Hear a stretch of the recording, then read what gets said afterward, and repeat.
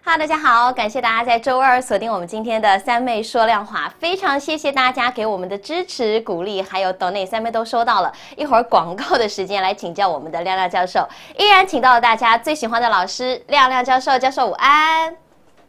呃，三妹好，各位观众大家好，欢迎大家收看三妹说亮话，记得。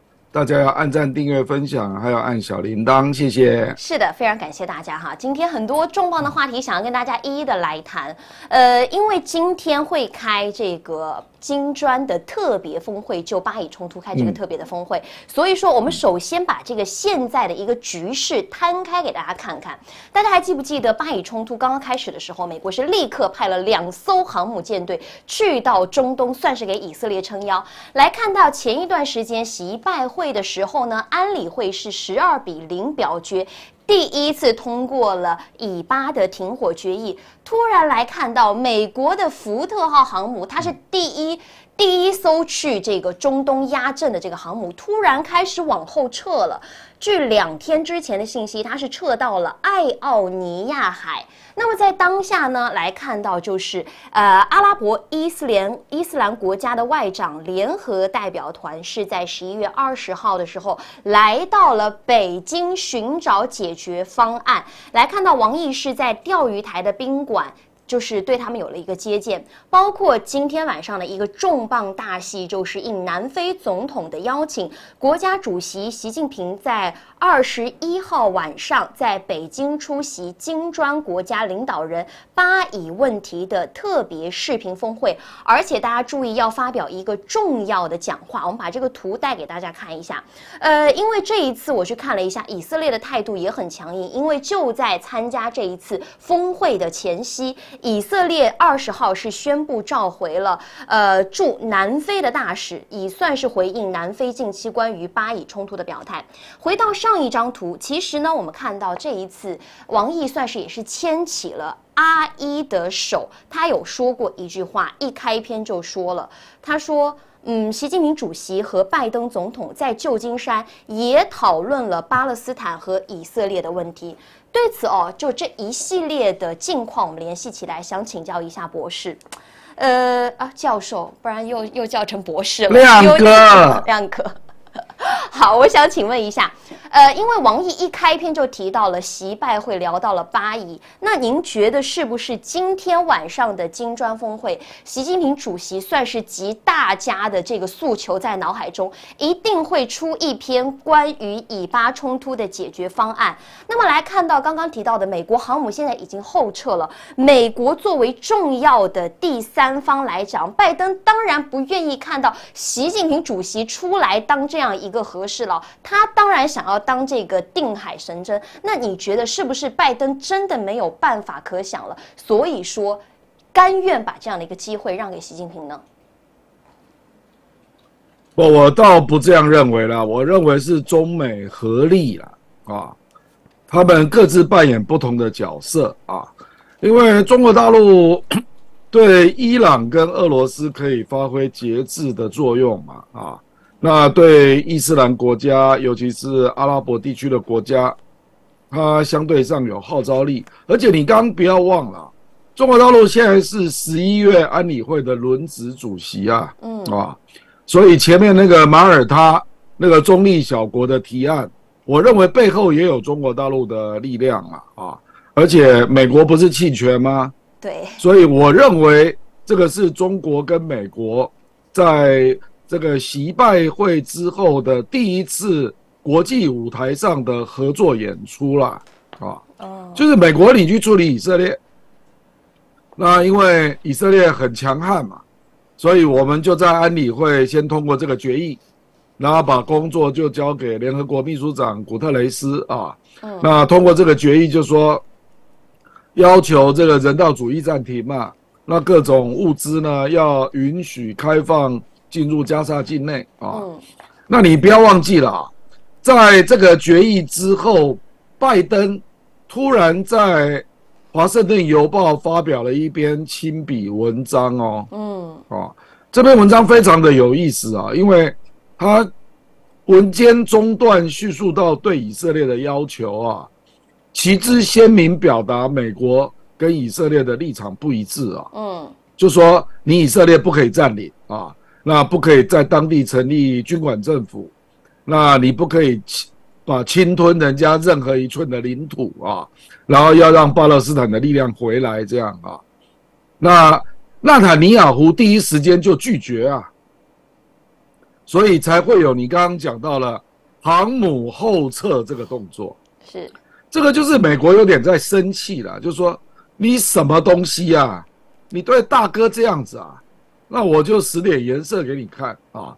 那至于中国大陆的部分呢，就是他继这个呃安理会轮值主席促成了安理会的决议之后，那接下来是王毅见到那个阿拉伯还有伊斯兰还有伊朗的各地的外长嘛，哈、对，这个不止阿拉伯国家啊，连印尼都去了啊。是，那接下来就是要用金砖这个平台再做一次的发力了啊，所以这个坦白说也是一种我说叫做中国大陆厚积薄发，展现它在国际上的能量啊，就说我不但跟拜登搞了习拜会，那稳住了全球的局面，而且我安理会决议终于通过了，美国放弃否决权了。那接下来呢，我还让大部分的重要的伊斯兰国家到我的国家，大家集思广益，然后我还要进一步发力，在金砖国家，希望能够促成决议啊。那这个，因为金砖国家不是只有穆斯林国家嘛，对，所以这等于是进一步把力量往外传散的过程呐、啊，那就是要让以色列感受到，第一个就是国际社会各国对他目前的做法的反对，还有对两国方案的支持啊，然后美国的部分也是一样，他进一步的对以色列施压嘛，所以航母其中有一艘就暂时后退啊，那那以色列你就看着办吧，啊。嗯，那个这个世界不可能让你这样单手来玩呐、我认为，如果美国后撤航母，还有习近平这样的动作，都没有引发以色列的明显的调整的话，哈，嗯，那接下来就是联合国秘书长古特雷斯啊，他就会送执行方案到安理会啊，然后就会开始要落实，要求以色列要开放边境，那那要开放安全通道等等，这个是联合国决议的内容嘛。嗯，如果以色列不照办，那基本上古特雷斯就会提出制裁方案。是，因为这个是安理会的权利啊。那除非你以色列退出联合国，不然接下来就会有制裁啊。那我认为接下来我们刚刚讲到了金砖呐、还有阿拉伯啊，还有一些伊斯兰国家也会跟进。也就是说，那个制裁只要联合国一发动，那中中国所接触的这一些国家也通通都会跟进发动，大概是这样。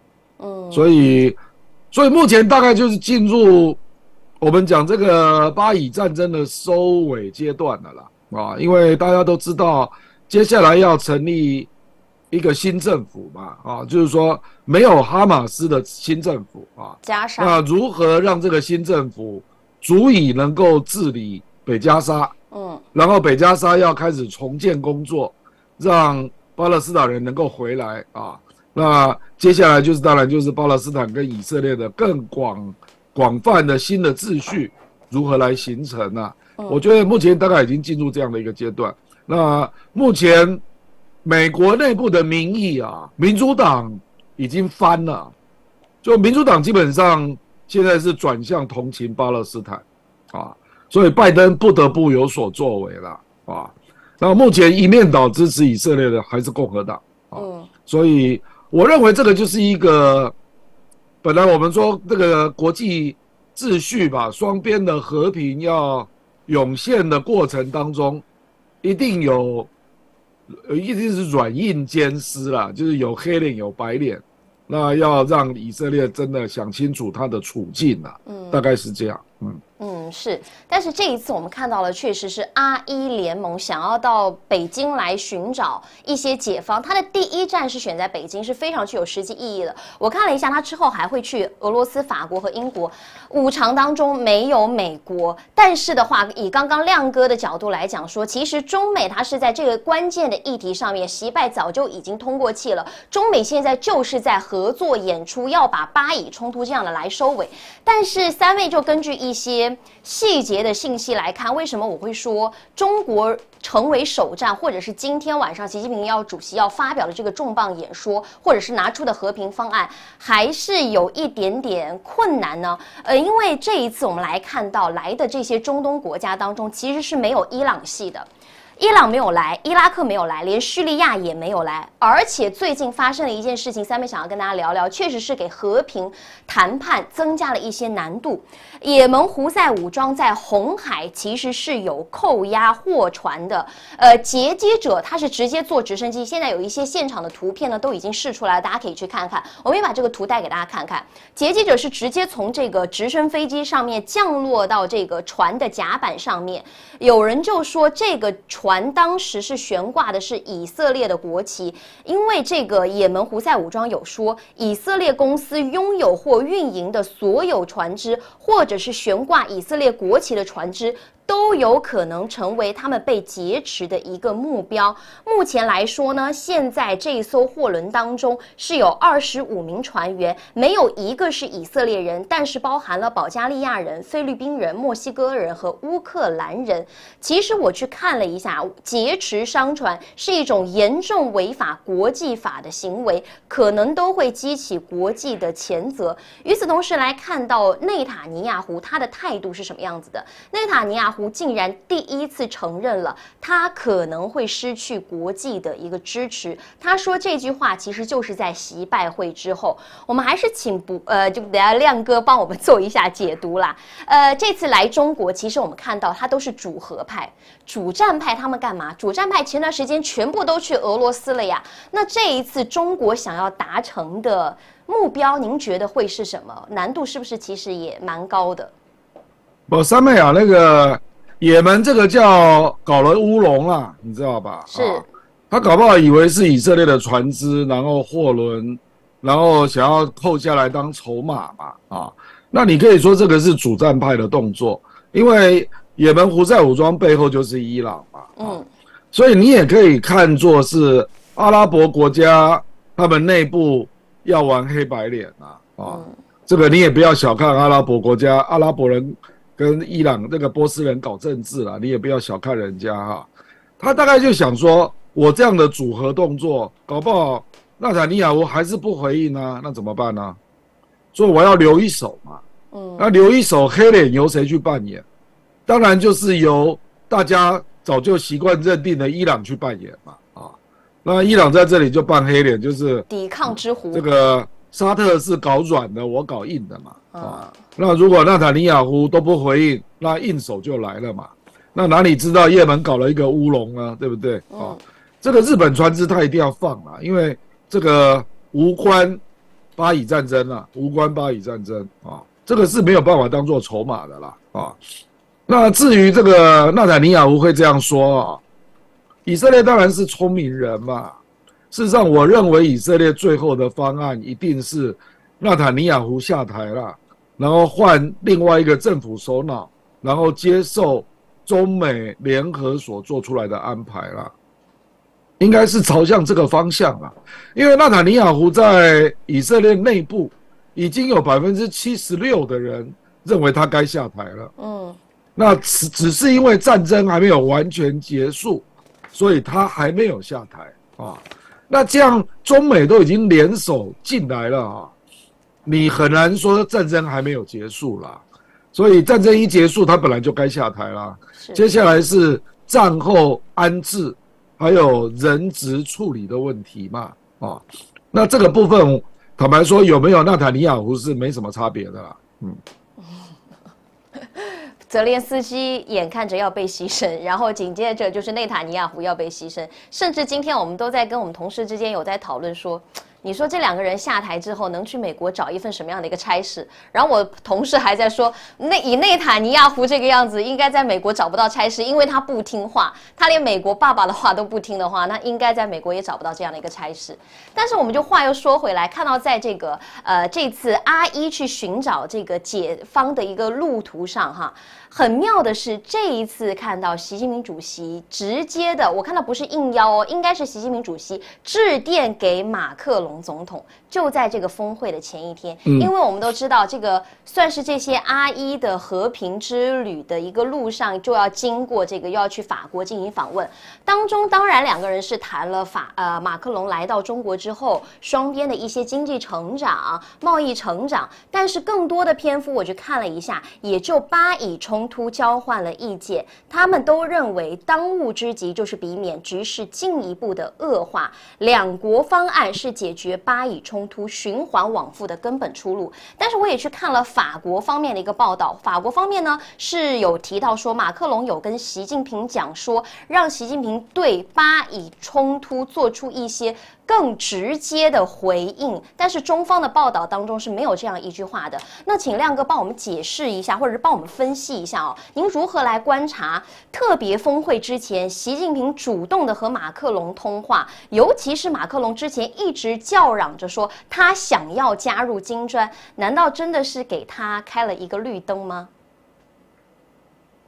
这是两件事情呐。因为上次加入金砖是俄罗斯反对嘛，啊，是。那俄罗斯最近也表态，因为明年八月的金砖会议刚好是俄罗斯主办，啊，那这个俄罗斯这个因为也知道了马克宏马克龙的意图嘛，因为后来去今年的六月，法国不是召开了一个全球金融的新秩序的。一个新公约了啊，这样的一个峰会嘛，有四十几个国家参加嘛。那对于既有的这个国际货币基金啊的体制提出挑战嘛，那要求要有绿色金融啊，然后第三世界的债务重组啦，这个马克龙他们法国基本上都有新的想法啊。那这个议题本来就跟金砖会议有高度的联动性嘛，嗯，那。现在俄罗斯轮到俄罗斯主办了嘛？因为今年八月的时候，坦白说了，那个俄乌战争还在打哈，所以俄罗斯对法国是蛮有意见的啦。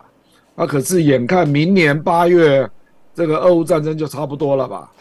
所以这个时候又是俄罗斯主办，所以当然就欢迎欢迎这个法国来了嘛。而且那个时候，因为俄乌战争已经进入新的阶段了。搞不好俄罗斯跟欧洲的关系已经改善了啊，这是第一个部分啊。那我认为习近平会打电话给马克龙哦，这个就看出中国大陆在外交上的周密啊。嗯，他比较比较细密啦，就是说他也不想要让人家觉得都是我在弄啊，那这样就太出风头了啊。嗯，那就让这个阿拉伯跟伊斯兰的国家来访北京。哦，就表示说，哎，我是受邀的啊，就跟那个 RCEP 不是一样吗？RCEP 明明中国就是很重要的主导者，他偏偏对外都说是东南亚主导的嘛，不是吗？啊，这有点类似啦，就是说，中国大陆不要让人家觉得说，哎，我去介入人家的政治，不是的，而是因为你的分量够，哦，所以呢，人家来请你出面啊，来当个公道伯啦，你知道吧？他有点要。塑造自己国际这个形象啊，然后呢，既然阿拉伯跟这个伊斯兰国家来请我出面嘛，那我就在这个情况下到金砖会议上面做个演讲啊，那寻求金砖国家的支持啊，那你也可以想象是一定过的啦，金砖国家一定支持的啦，连那个最调皮的印度大概也不好反对了啊。那接下来他就想说，哎，那我也跟这个欧欧洲的老大法国通个气嘛，表示说我尊重你啊，你有什么看法啊？那你看马克龙也很上道啊，他就说，哎呀，这个就请你，请你老大出面了啊，就是这样了，啊，所以他等于就是方方面面处理的非常的周到了，这个我觉得就是在凸显中国式的外交与美国。式的，霸权的不同啊，就是这样，就是说你美国北约根本就是你美国说了就算嘛，你哪有在理别人啊？嗯，可是中国大陆这种协调式的外交，不是说他自己强出头，没有的啊。他即使在安理会做轮值主席，提案也不是他提的啊，他还请一个中立的小国家马耳他来提案啊，不是吗？我认为马耳他那个提案根本就是中国带。带带纸笔的吧，啊，马耳他哪有能力写这种案子啊？对不对？我专门去看了谁提案，哎，是马耳他提案，我就在想说，是啊，这不可能是他写的啦，不可能啦。而且我跟你讲，中国大陆一定会处理的很细腻，他一定也给俄罗斯跟美国看过了啦，啊，嗯，所以我认为，比如说俄罗斯也弃权嘛，那俄罗斯弃权的理由就是说你没有写停火呀，啊。那俄罗斯就提出一个修正案，说，啊，我我要求把停火加进去啊。是。那因为因为要美国那边要弃权嘛，所以停火就不能写进去嘛。嗯。那俄罗斯就做个姿态说，那我要弃权这样啊。那美国基本上就是，中国大陆一定知道美国要弃权了啊，所以这个案子就这样通过了啊。所以我我觉得从这一次这个事件的处理。看出中国处理这个多边外交的圆融手段啊。嗯，这个这个我觉得是不简单的事情啊。所以在我礼拜一的直播，我就立刻把这个点出来了。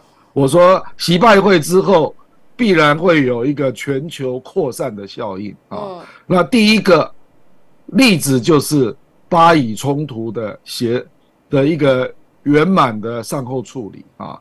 第一个案子就是这个案子嘛，那当然会走多远，我们不敢说，因为陆续还会有其他地方陆续出现了啊，比如说澳大利亚总理奥本尼斯还抢在 APEC 之前就跑去北京了啊，那我认为接下来就是英国了，因为英国刚换了卡麦隆当外长啊，那他也是个中国通嘛，所以英国你澳地澳大利亚都可以走这么远，我大概也要来跟中国好好谈一谈了啊。那接下来，日本如果核污水可以有一个比较建设性的提案，我认为中日也会开始了。所以基本上这个中美解冻的效应已经开始向全球扩散了。就是这样的一个效应，嗯，但是也让全球看到了中式外交这种多边外交，中国到底是怎么来进行的？你突然跟美国的这种霸权式的这种外交相比起来，大家可能现在就有两条路选，我就要选这个和平这样的一个进程。美国现在你只这种就是单极霸权的，大家已经不吃你这一套了，所以说呢，跟在中国后面的人就越来越多。美国当三妹啊，我跟你讲啊，这个就是老二暗自发力啊。那把所有的面子做给大家了，啊，那大家心里面就更肯定你足可当做接班人了，就是这样啊。这个我们在社会上也看多了这些情况啊。嗯，那中国大陆算是非常聪明的。出了第一手了，大概是这样。嗯，就是我给你面子，我还给你里子，哈，这个就是中式外交。但现在我们来看到，确实，刚刚亮哥有提到中国在中东这个地方的布局，你就可以从这次可以看得出来，布局之深，扎根之稳。不仅如此，其实我们还可以从另外一个面向来带给大家不同的解读。呃，首先给大家看一个数字啊，今天我看到的一个最新的数字，离岸人民币对美元是涨破了七点一。一五的关口再创了超过三个月以来的新高。当然，大家也看到美元指数呢出现了杀跌。不过，相对于人民币的涨幅，其实美元指数的跌幅并不算大的。呃，以几个消息面来带给大家做参考。除了今天大家看到的中央金融委、中央金融工委领导成员已经依次亮相之外，就是国内方面。我们来看看国际方面。首先，第一个人民币计价的国际债券也持续发。发展境外人民币的贷款业务也崛起了。人民币是首次超越了欧元，成为全球第二大的贸易融资货币。我们再把下一张图来带给大家，这个是人民银行网站的昨天的消息，经国务院批准。中国人民银行和沙特中央银行已经签署了双边本币互换协议，互换规模是五百亿人民币，算下来呢是二百六十亿的沙特里亚尔。协议的有效期是三年，如果双方同意的基础之下呢，还可以展期。所以说呢，大家都说这一众多利好的因素之下，刺激了人民币的走强。我们还是请亮哥，常常我们讲说政治离不开经济面的观察，如何来进行解读？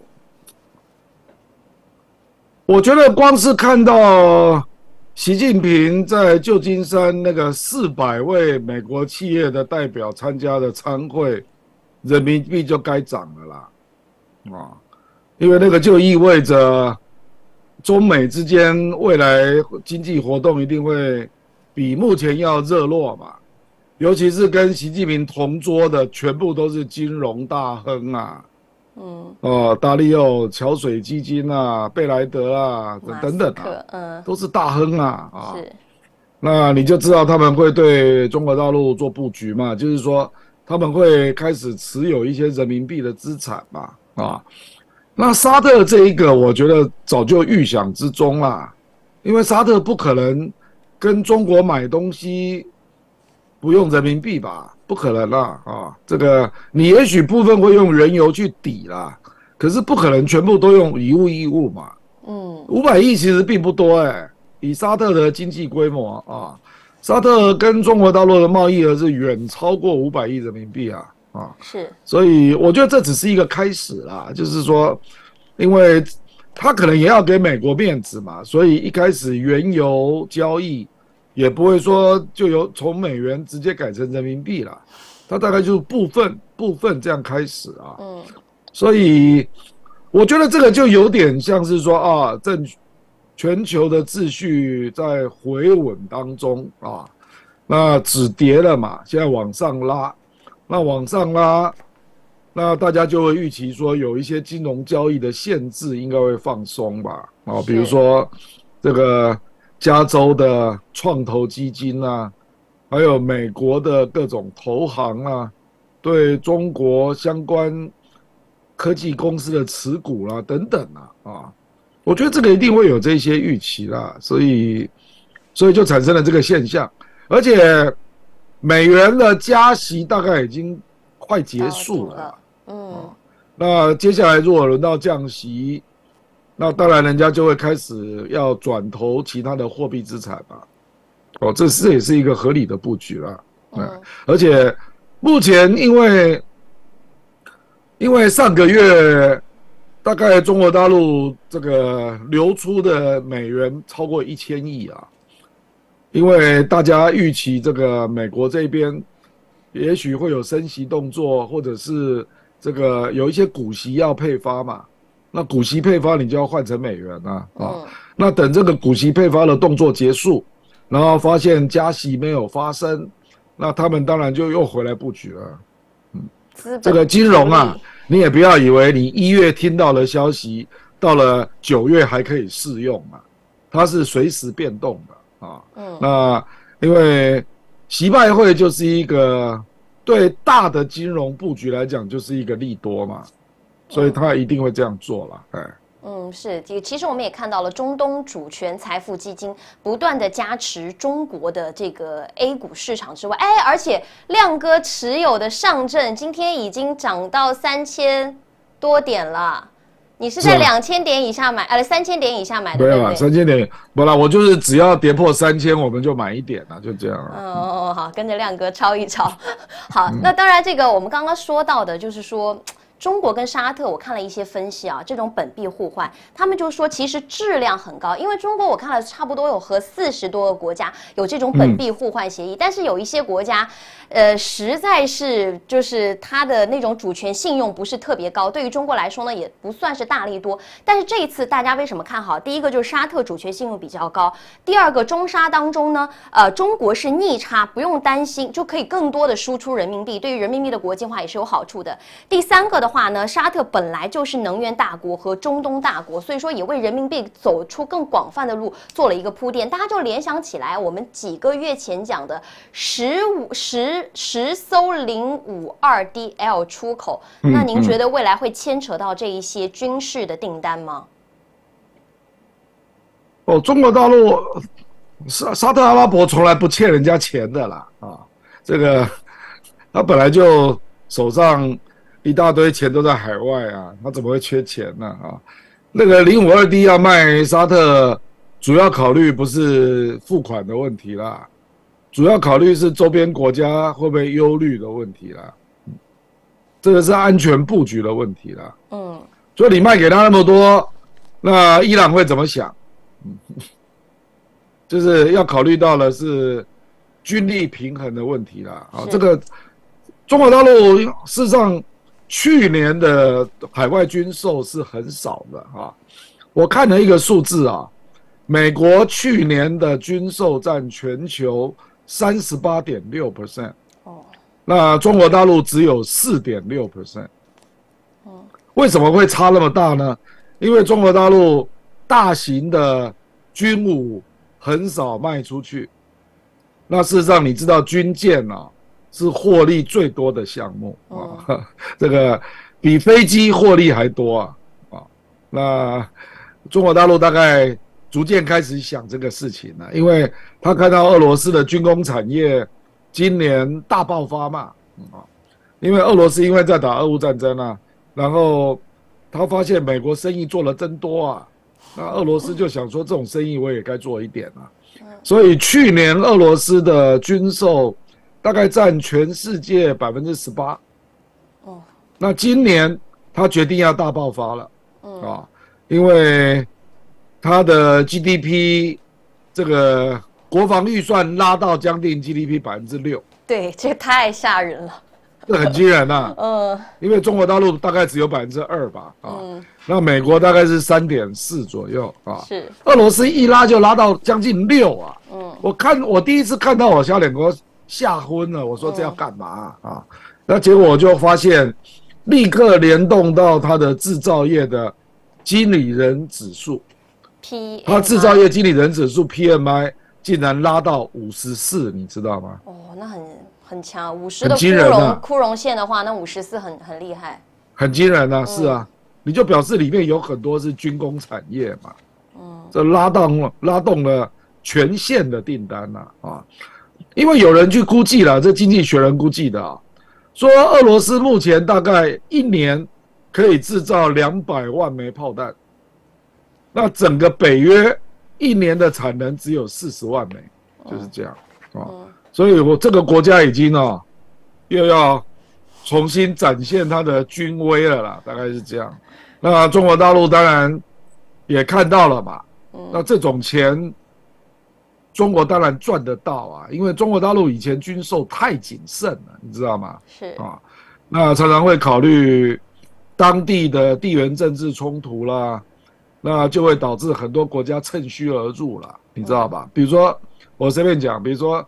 最近有个国家本来要跟就是阿根廷嘛，阿根廷本来要买中国大陆的飞机啊，要买枭龙战机，哦哟，那后来被 F 十六给抢走了，就这样变来变去，阿根廷也是啊。刚好说到阿根廷，我们再来说说阿根廷变天了，刚好可以和这个，呃。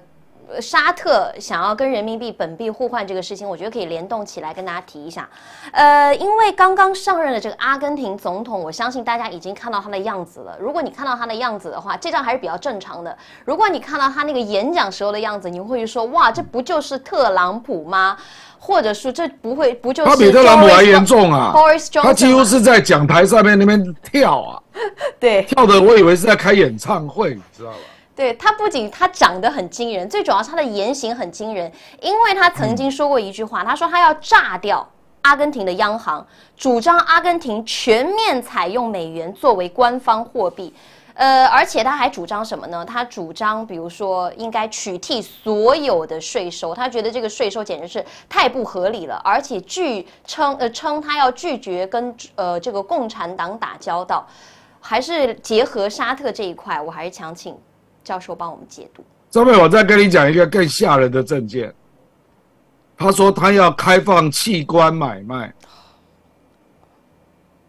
够吓人吧？他就是完全自由化，要政府做越少事越好这样的激进主张，啊，那因为我跟你讲，阿根廷为什么会变天呢？第一个就是十月份的通货膨胀一百四十三 percent，十月份，嗯，所以这个国家的货币根本没有人在用啊。对，事实上，阿根廷目前市面上大部分的人就是用美元在交易。因为没有人相信自己的货币啊，你知道吧？啊，那有百分之四十的人在贫穷线以下，所以你说这种政权变天几率当然是很高了。可是我跟你讲啊，他还是两轮选举才选赢的，嗯，因为原来那位那个排名第一的第一轮投票，大概选到了百分之三十九啊。结果大家都没有超过百分之四十嘛，所以就要进行第二轮投票。结果第二轮投票，这位仁兄，这个极右派的川普兄啊啊，他拿到了五十六 percent，嗯，就是这样啊。因为第二轮投票一定要集结为两个集团投票，这个是宪法规定啊，所以他实际上的得票是不高的，他只有二十几 percent 啊。那更离谱的是他的国会啊。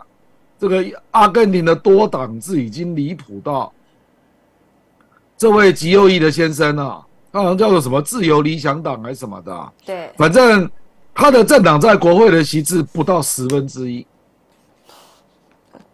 所以你去想想这种国家怎么治理啊？所以他说什么要废掉美元啊，废掉央行啊，这个就是他自己讲一讲啦，这根本就做不到嘛。嗯，因为美国怎么可能去买进你的阿根廷币啊？实操性完全没有。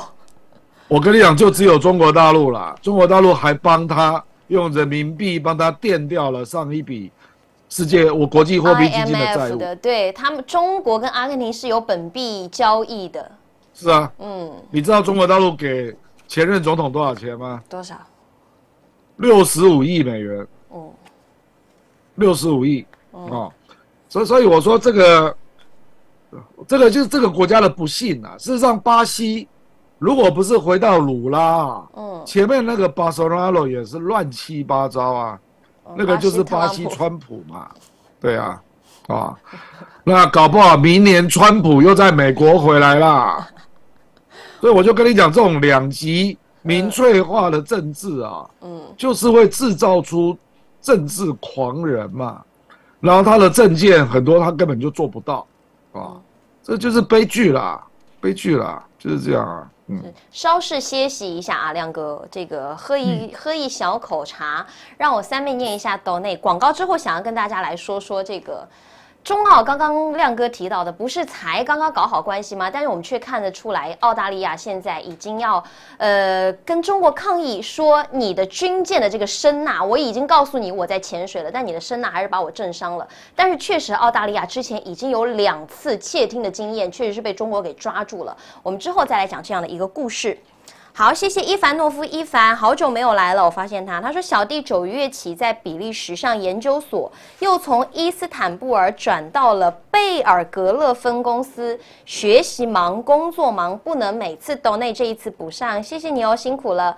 谢谢朋友好的都内，谢谢你。然后谢谢我们支付宝朋友呃强的都内，他说拜登还能不能连任还不好说，中美注定是敌人。亮哥这个。中美注定是敌人，应该他的意思就是说，没有永远的朋友，也没有永远的敌人吧？中美本来就是对手嘛。嗯，美国不会用敌人这个字啊，他会讲对手嘛。嗯，对，好，一龙，我们英文叫 rival 啦，他不会讲 enemy 啊。对啦，就这样啊。啊，一龙，谢谢您的支持哦。阿亮哥及三妹啊，看了近日台湾领导的选情，我也跟郑元兄一样悲观了。柯主席不守信用，郭台铭又背信联署参选，已经确定四角都了。选领导又不是选地方首长，我想清德赖宗大概要登基了。我刚传出郭台铭跟柯文哲要做整合，嗯，哦，那刚好我郭台铭不会参选，不会参选，嗯。做整合的意思是，很可能赖佩霞变成柯文哲的副手。我们刚好准备这条讯息，还是跟放到这边跟大家提一下吧。这个呃。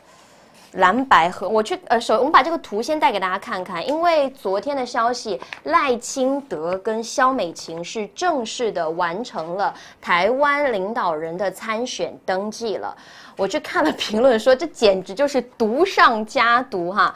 还有包括下一张图来带给大家，这个是三妹之前准备的，说柯文哲和郭台铭是不是准备要联手出击了？因为之前蓝白河要用民调来定，现在民调谈不拢嘛，说郭郭柯文哲说我就是就是要让六。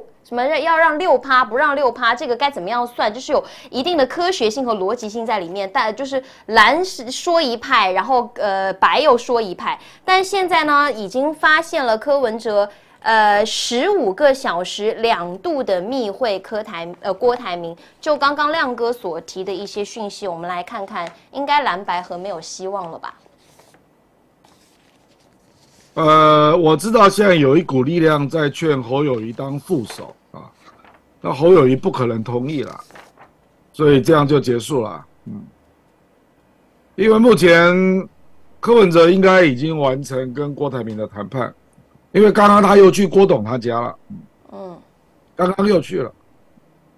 那台湾也传出了另外一个消息，就是明天黄珊珊要去中选会领表。嗯那应该就是，就是柯文哲现在在郭董那边嘛，那谈定了之后，大概明天早上或今天下午就要宣布赖佩霞当副手，那这样就是没有了嘛。嗯，除非侯友谊临时改变主意，说柯文哲跟我配了，我当你的副手这样。啊，那这个我认为不太可能啊，不太可能。呃，亮哥的十块鸡排白输了。没有啊，我还没输啊，我请不出去啊，因为我刚要请的时候，那个就变卦了，所以人家就说搞不好是厉将军输了，不是我输了。嗯嗯，是是，看，哎，你这得意的笑是是？我哪有笑？我宁可我输啊，拜托。哦，对，所以现在现在是没不用，但是鸡排是不用输了，但是蓝白河应该是没。没有希望了，那但是台湾输了，嗯，那现在我因为我看了一下，昨天哈，这个是，呃，上海呃呃是是国台办还是呃，我去看了一下，是上海台办的副主任有说。呃，谁上大陆都可以应对，我们走我们的路。赖清德上台可能有利于大陆加快统一。我今天去看了一下赖清德的这样的一个回应哦，赖清德说，呃，中国对这场选举说三道四，正足以证明中国正在介入这场选举。中国官员没有经过民主的洗礼，所以没有必要回复他们的问题。呃，而且他说。蔡英文近八年带领，让国际肯定台湾，上架台湾。未来我会跟美琴，势必一定要带着全体国人，在民主的道路上持续壮大的前进，走入国际，也迎向未来。他是这么评价的。嗯，我他在选举当然会这样说了，不然怎么办呢？你已经断了九个邦交国啊，你国际有变大吗？没有吧？嗯，搞不好未来。还会再断一些邦交国，那搞不好未来他去美国都没有地方当转运站呐，都有可能啊。嗯嗯，巴拉圭是？我现在在选举中啊，有很多都是选举语言呐。我我就想说，这真的就是选举语言，他是讲给他的支持者听的啦。哎，嗯，我这真的是选举语言。我我还记得依稀记得前几个月才说他要跟习近平吃饭。我就想说，你以什么样的身份跟他吃饭？然后这次又说这个他们是没有经过民主的洗礼的。好，呃，谢谢月明哦，他说个人对他叫嚣与中脱钩一事不以为然。器官买卖这一事儿，麦昆也提过，阿根廷人给他投票的想法是：难道还能更差吗？我觉得是这样啊，就是你去想一想，通货膨胀一百四十三一个月。那老百姓就是乱乱吃药了嘛，就是反正来一个新的神明就试试看嘛，就变成这样子了。而且我还看到有人就说，这也是一种实验啦，就是完全无政府的实验。但只要不是在自己国家实验就好。来看看最后的结果，真的会是什么样子的？因为明星也的支持，他说顺便蓝白和破局，对台湾人民来说未必不是好事。接下来四年是最难做的，暴雨后是畅快的天气，短痛总好过长痛。这个呃，明年会是艰难的一年呐。我这里跟大家预告，嗯，你是说国际关系还是说两岸关系？台湾啊，当然是两岸，当然是两岸啦。嗯，呃，Winston Robbie 说，国昌老师要开始准备新北市长的补选了吗？我还早，他才刚要上不分区而已啦，拜托。哦，这个他的意思是说。柯文哲如果没有当选，哦，对，那黄国昌就不能当法务部长了吧？是，当然是这意思了。好好，谢谢。嘿，说你呢的 Donny，他说晚上要看老沈翻车，我嘚儿一的笑，我嘚儿一的笑。你听过这首歌吗？听过啊。哦哦，对。不过沈富雄上个礼拜就改口了啦，他认为破了啦。嗯，然后我还看到一张上周蒋亮亮老师上那个。少康战情室，我竟然还收到了一张你盘腿坐的照片上节目。是啊，这有这种节目，啊有这种照片。我一会儿发给你看，注意一下形象好不好？哦，是吗？吃播吃播就好了，像是这种盘腿坐的事情上电视不太好。嗯，是从侧面偷拍的吧？它就是一个全浪景，一个全景，然后大家都正 正经八百的坐着，然后沈富雄坐你旁边，然后你就盘腿坐在那个椅子上。老老僧入定的感觉，因为他们都在一直在吵，我就懒得懒得介入啊，就这样啊。好好，继续我们的节目哈，非常感谢大家的支持，也请大家多多的先帮我们按赞，辛苦大家了。我们继续来谈谈这一次，嗯，APEC 之后呢，有人就说澳大利亚抢先机，先 APEC 没有开，就先跟习近平主席见了面，但是中澳关系能够维持多久呢？我觉得还是要打上一个问号。我们从最近澳洲媒体的报道，这个是澳大利亚海军声称他们的导弹护卫舰叫做图文八号，在日本海上自卫队。所谓的日本专属经济区内执行任务时候，澳海军图文八号螺旋桨被渔网给缠住了。所以说，他就派遣了他的海军呢下潜去清除渔网的作业。事后，澳海军抱怨说，明明向中国军舰用无线电报通报了我们有潜水员作业，并要求中方军舰保持距离，但是中方的导弹驱逐舰幺三九宁波号反而靠得更近了，同时还启动了舰上的主动声呐。所以说，澳大利亚的潜水员声呐。被这个刺伤了自己的耳朵，导致这个潜水员不得不浮上水面。其实，呃，近三十年来就有至少两次因为遇险，澳大利亚对于中国的侦查被公开。第一次大家已经看到了，九二年的时候，也是澳大利亚的常规核潜艇从悉尼港出发，秘密潜到了中国的沿海。在上海执行外海执行秘密监听任务的时候呢，也是被中国渔网缠住，然后不得不上浮。第二次是在零七年三月份的时候，也是呃，但这个潜艇的规格就更高了，叫做法恩科布号，也是秘密的靠近中国，在军事敏感区监听中国，试图破解中方的通讯系统的密码，最后还是被渔网缠住了螺旋桨。最后不得不等晚上夜深人静的时候浮出水面进行维修，逃离中国的敏感水域。亮亮教授，您如何观察中美之间的军事沟通管道已经重启了？但是像是加拿大、像是澳大利亚这种活动，其实我们看到没有在减少哦。不，这个是美国的习惯的动作啦，就是历来他会让无眼的伙伴除了纽西兰之外啦。来做军机刺探、军舰刺探的动作嘛？啊，那当然还有水下的啊。那中国大陆，我认为是从去年开始决定不让了。这个我们叫做大国崛起在画红线这个不是法律概念啊，这个是政治概念，就说这就是我的政治地盘，你不能进来啊。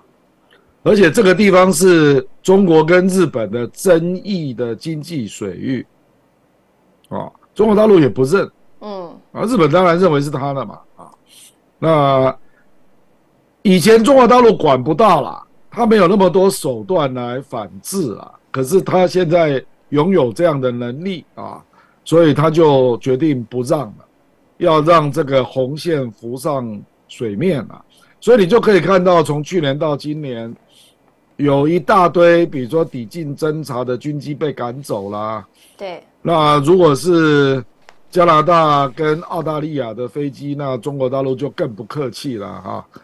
那如果是美国的，你看连那个 B 五十二飞到南海，那中国大陆认为你这个太过分了，因为这个可以装核弹的，嗯。那就派了歼十跟歼嘛，不是吗？啊，那还有那个美国在黄海举行演习啊，结果中国大陆就在你下面演习啊，逼得你三个小时草草结束，对不对？啊？是，那还有军舰要开进台海被赶走啊，我认为这个就是我坦白说了，这个历史上的大国都有它的地盘范围啦，这个不是法律概念，是政治概念。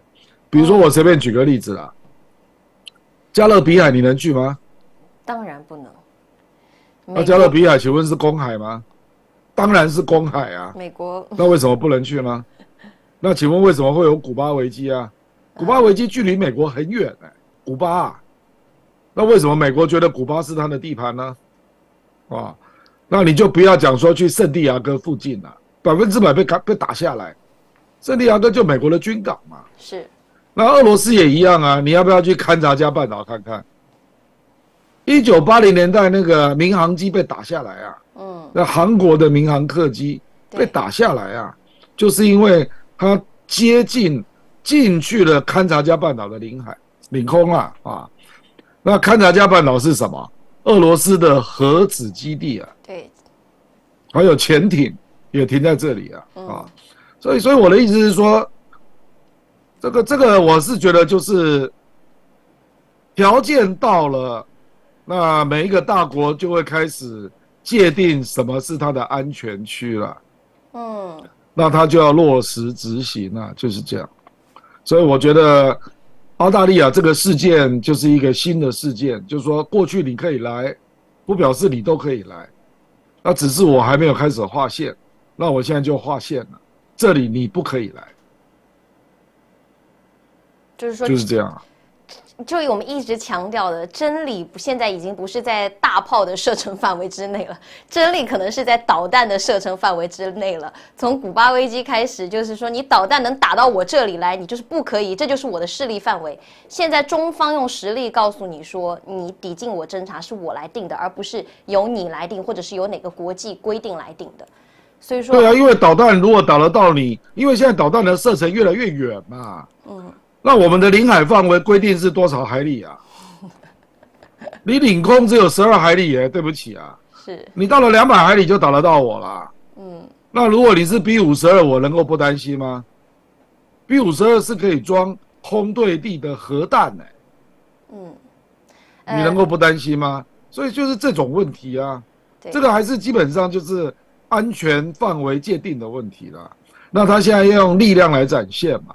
事实上，我们在讲那个所谓的那个飞航情报区也是一样啊。哦，什什么叫做不然？这个或者是说我们在讲那个防空识别区了，哦防空识别区也是这种概念啊。嗯，你的军力不到的地方，防空识别区根本就是嘴巴而已啦。所以你说菲律宾有没有划防空识别区？有啊，嗯，菲律宾的防空识别区，连台湾的飞机都飞来飞去啊，根本连理都不理啊。嗯，这个就是完全是一个空中权力的概念嘛。是那中国大陆的航空识别区，你进来试试看，这个就是这是同样的一种逻辑啦。哎，嗯，你要就说现在为什么歼十、歼二十上了这些中国南海填海造陆的这些岛，大家就要小心了。人家就说下一步中国就是要在南海给你画防空识别区，你进来给我抵近侦察试试看，你进来给我飞进来试试看，那我们就中国现在就是真的不忍了不让了。但话又说回来，因为这个毕竟还对的是国与国之间的军舰或者是军机，现在有一点我觉得。菲律宾是在突发奇招吗？因为我去看了一下，菲律宾现在是民间团体要定在一个时期要去运补了。说这件事情之前呢，先给大家看看这一次 APEC 的众生相，我觉得由这个话题引出来会比较的直观一点。这一次习近平主席在 APEC 当中也是非常非常忙，见了很多的国家的元首。大家看到图中的第二张是韩国总统尹锡悦，大家不要以为是会见了多久。日本首相岸田文雄倒是会见了一小时五分钟，但是和尹锡悦只见面了三分钟，大概加上翻译的时间，哈拉一下子就没有了。但是，呃，韩国却大肆报道了两国元首交谈的事情，包括大家来看到这个中加领导人也算是无意利用 APEC 峰会进一步的交流。呃，特鲁多有微笑着看习近平主席，习近平主席压根儿就不想理他。所以说，现在有人就说了，可以看得出来，尹锡悦和小马可是都非常急迫，因为这两个人都见了习近平主席，但是却没有出现在中国外交部官方的网站当中。呃，可以看得出，美国对中国转弯的当下，这些小国家。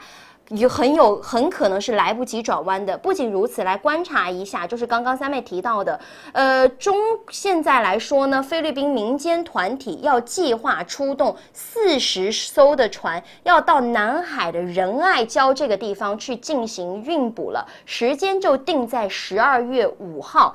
呃，因为菲律宾现在国家安全会的议会议主助理主席就有提到说，仁爱暗杀是一个热点地区，这个地方的局势呢是比较紧张的。国会很遗憾的跟大家讲，如果要去仁爱暗杀的话，我们是无法支持民间运补行动的。这个是菲律宾官方的一个回答。但是如果是真的要爆冲的话，这些四十艘的民间渔船爆冲的话。那我不知道，面对这种民间渔船，中国可不可能还设水炮啊，或者以什么样的一个方式会处理会比较好？上面你知道中国大陆在南海有多少船吗？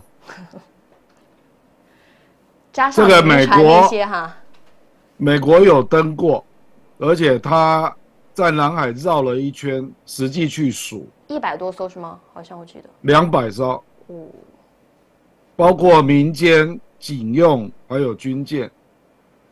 所以四十艘，那我就用八十艘来逼退啊，就这样。嗯，因为这种海面上的讯息，中国大陆事先一定会知道了。你到底有多少艘船来，那他大概就可以调度多少艘嘛。因为前一阵子就发生过一次嘛，啊，那那一次美国，我记得是《华盛顿邮报》，他把它全程做了一个报道，那文章写的很长啊。那一次，中国大陆总共调了三十八艘船。哦，对，啊，所以三妹你不要紧张了，大概就是这样。嗯，而且菲律宾的船平均都比中国大陆的小。嗯，就是，所以就是把那个美国事实上他就写了那个文章，然后在那边分析了，说他在这里弄了两百艘船，请问我们怎么办呢？嗯，他自己也找不出答案。啊。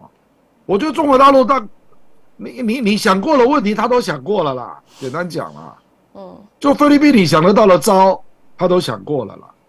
那谁的船多啊？就是这样啊，啊，所以美国基本上对南海这个地方，他也无可奈何啦，因为他知道这个状况，所以美国早就发明过一个概念嘛，叫灰色地带作战。他早就把中国大陆的。民间的船只，还有包括武装渔船，还有民间的货轮都算在内。嗯，甚至美国认为，如果台海战争涉及登陆，搞不好也不一定全部都是军方的登陆舰啊，也会包括民间的运输运输船。嗯，哦，所以。中国大陆本来就是这样在布局整个西太平洋的啦，因为这个地方有点复杂嘛。那有时候不要军方出面，有时候不要警方出面，所以各种代表团体都有，嗯，就是这样。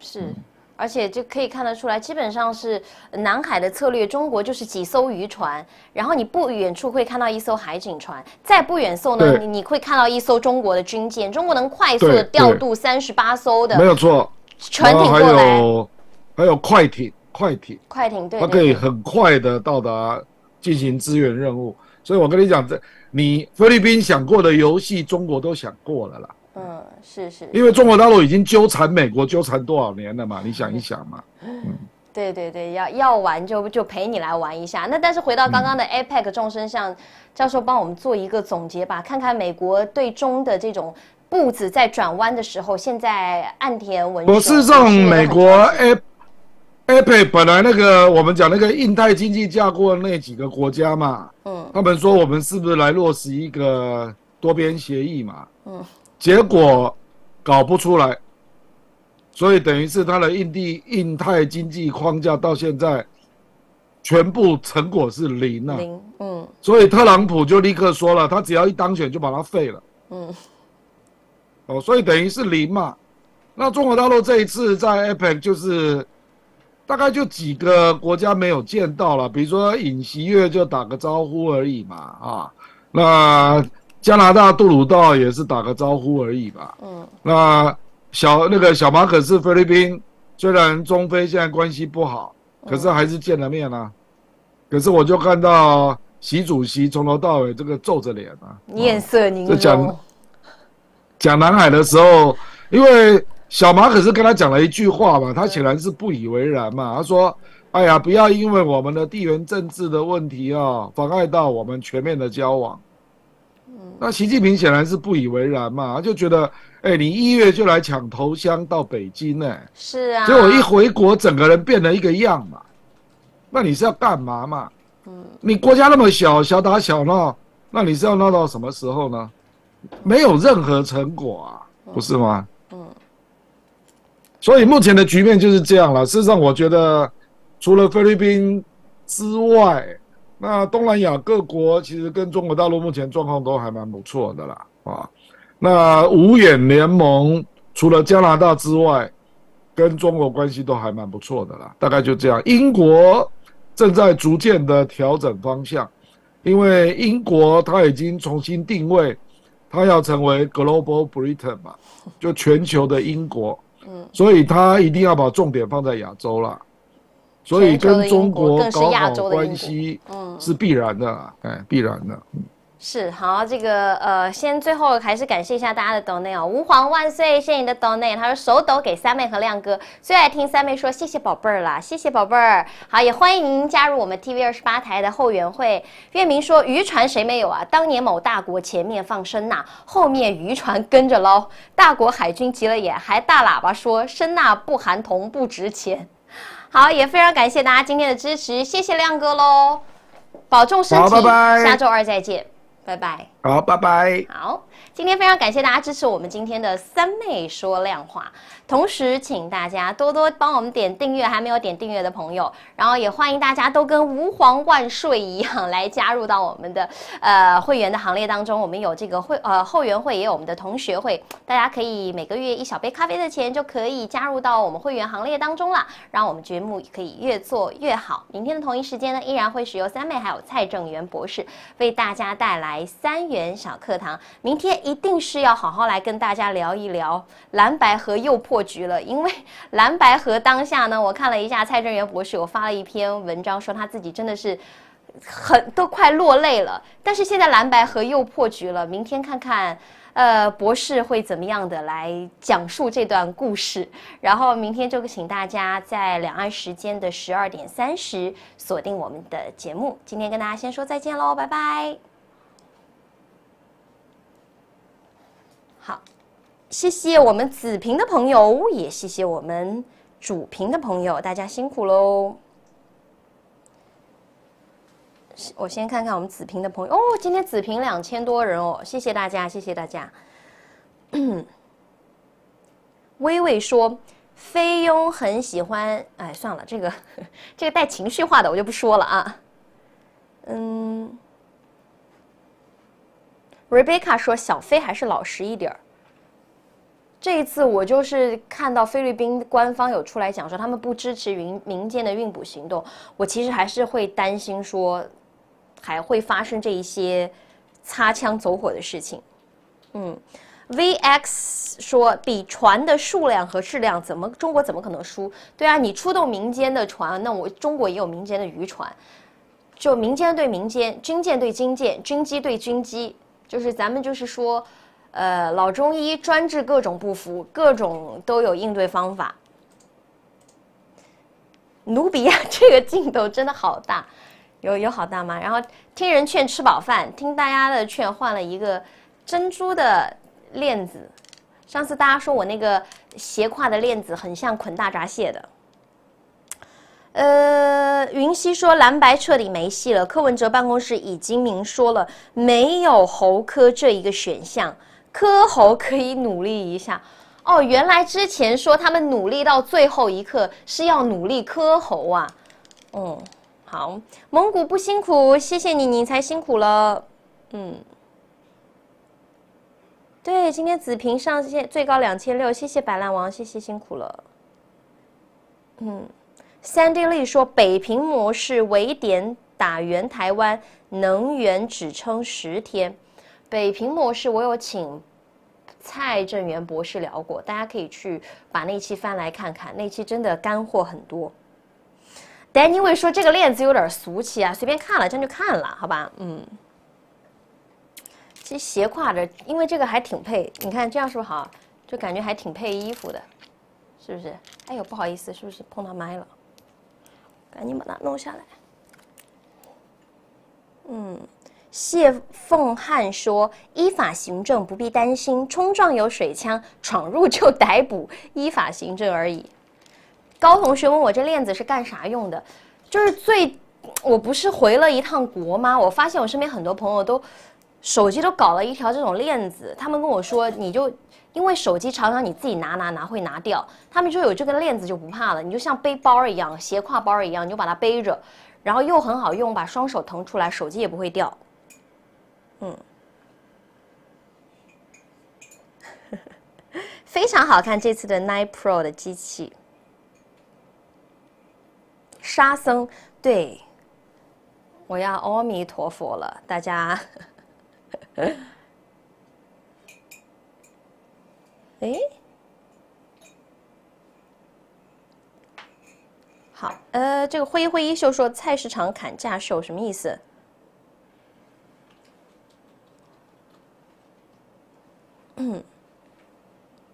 国内是时尚，我感觉挺时挺时尚的呀。哎呀，没关系没关系，小蓝手机有没有链子？小蓝告诉你他没有链子。类似说三妹买个荣耀的折叠屏手机，配上我的珍珠链更像包包了。呃 a n g e l i 的你也来了，Hello。